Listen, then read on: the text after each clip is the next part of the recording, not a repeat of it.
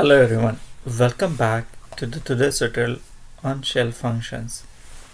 In today's tutorial we are going to see how to write a function in shell script, how to uh, implement business logic in that shell function and how to call the shell function within either the same function or outside the function. So let's start today's tutorial. The one of the one of the thing we are going to say is whenever we execute any function that function might have either return type or it may not have. So in case if it has if it has return type how can we get that return value from the function? If we execute an exit command from inside a function its effect to terminate execution of the function and also of the shell function that call the function. So we can use exit command to exit from the function. If we instead want to just terminate the execution of the function and then there will be a return value for the given function which we want to use we can return that value also. Based on the situation either it's a exit or it's a terminate by returning value. We have to use the return command every function returns some value. If it is a successful then return value is 0 based on the condition whether it's a failed case or it's a successful execution with no return the return code value will vary. But in general there is always a return value either 0 or something else for example 1 here is the example in this example we can see we, we wrote one function. In order to write a function we have to use our keyword. In this case it is a message. Then simple open bracket simple close bracket. Open curly bracket and write our business logic here. What we are writing here is we are just echoing welcome to then we are uh, writing another word technoworld and then we are reading the parameter from the input. So user can pass any value here. The the parameter 1 then learn and the parameter 2 and then few words and then parameter 3 you can use n number of parameters there is no limitations. However for the good programming practice it's good idea to limit those parameters till 5 and after this uh, after this writing the business logic we are returning the value. So here we are re returning 0 as a value. Then if you see we are calling this message function in the same code. You can call in the same code or outside the code as well. But in our case we are calling within the same shell script. Yes that is possible. In order to call the function just write the function name that is message and there are three parameters are required dollar one dollar two and dollar three. These are the three parameters. In unix the parameters are recognized by the space. So if you put a space it will be treated as a different parameter. The first parameter we are passing here is raj second parameter is unix and third parameter is career and at the next step we are actually capturing the return value from the above command. So when we execute message and then parameter it it is going to execute that message method. If the execution is successful then return value that is 0 what we are returning there that will be assigned to the given variable. In order to assign the return value we have to use the dollar and question mark. So it will assign the execution previous execution value. And then we are returning the value by using echo. So let's see this example how it looks so we already typed all that code what we just discussed message. Then we are echoing welcome to technoworld dollar one. Learn dollar two and make good dollar three. And at the end we are returning zero. Here we are calling the message method by passing raj unix and career these are the three parameters. You can change this parameter you will get the different result. And here we are capturing the result of the previous execution. If we have the multiple execution whatever the last execution you have done?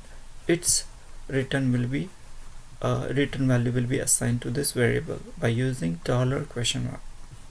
And then we are finally printing this value on the console using return value is this return dollar. So let's go ahead and execute this script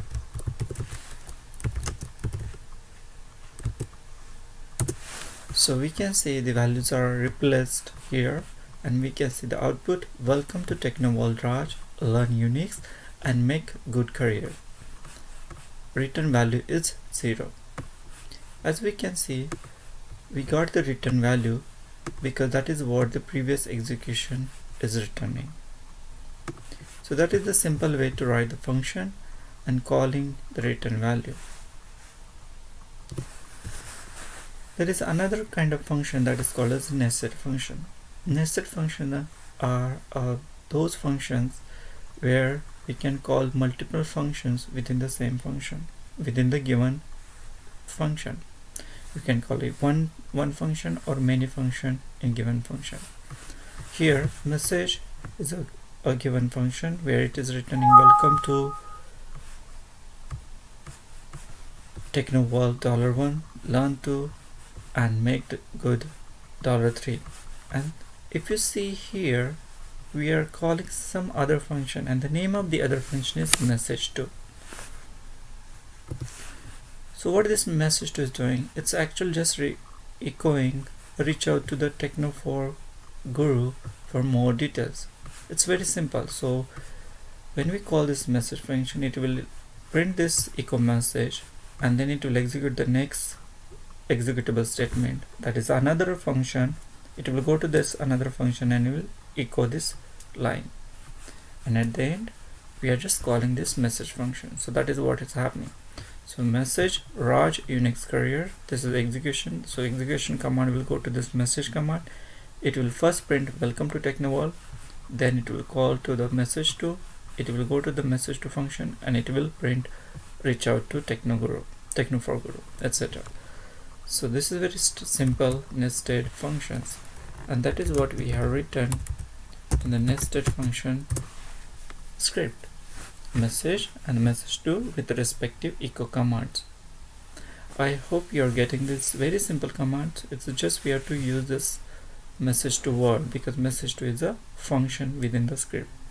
You can call within the script as well as outside the script as long as you have those scripts in the path of this execution so let's try to execute this script and we'll see how the output will be rendered. Now we can see here the output it says welcome to techno world raj. Learn unix and make a good career. Reach out to tech for guru for more details.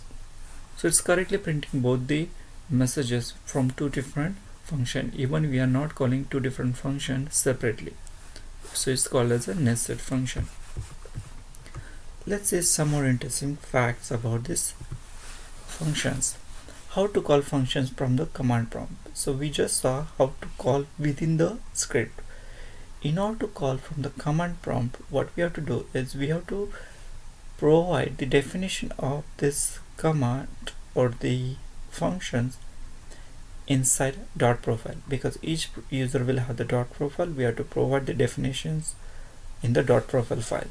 These definitions will be available whenever the user or whenever we log in to the system Unix system alternative to this we can group this definition in a file and for example test.sh and then execute this file in the current shell by typing dollar dot test dot sh. And then you can call the, the what are the function you want to call. In this case suppose we want to call message just call message it will get executed. So these are the ways by which we can execute the custom functions by providing either in any dot profile file or providing these commands in the simple file and putting uh, in the current shell now we just added these functions in our library or in our execution path. How can we remove these functions? In order to remove these functions from the shell we have to use command called as unset. But we have to remember that we have to use option called as a dot f. This command is used to remove the definition of a variable to the shell. For example dollar unset dot f function underscore name. So if you want to remove message function you have to type dollar unset dot f and then message because message is a function. So these are the details about the functions how to write a function how to call a function in a script how to call a function on a command line and as well as how to remove these functions I hope you are enjoying these tutorials. If you have any questions or queries you can definitely reach out to uh, to me by email or you can put your comments in the comment comment section or you can reach out to my website also. There you'll find more in interesting stuff about Unix thank you again. Have a nice time